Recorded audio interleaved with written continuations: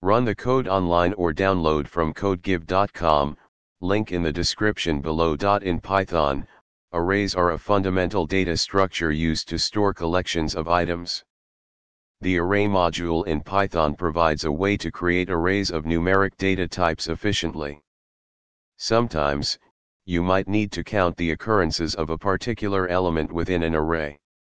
The count method in Python arrays offers a convenient way to accomplish this task. The count method is a built-in function available in Python arrays.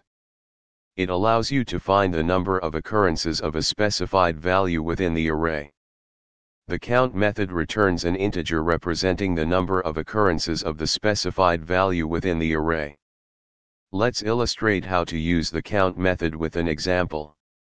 Output in this example, we first import the array module. Then, we create an array called my underscore array containing integer values.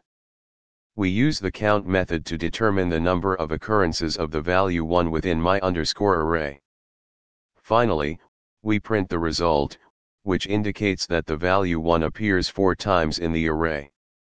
If the specified value is not found in the array, the count method will return 0. Here's an example illustrating this. Output. The count method provides a simple and efficient way to determine the number of occurrences of a specific value within a Python array.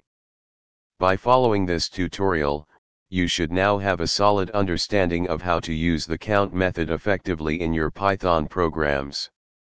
ChatGPT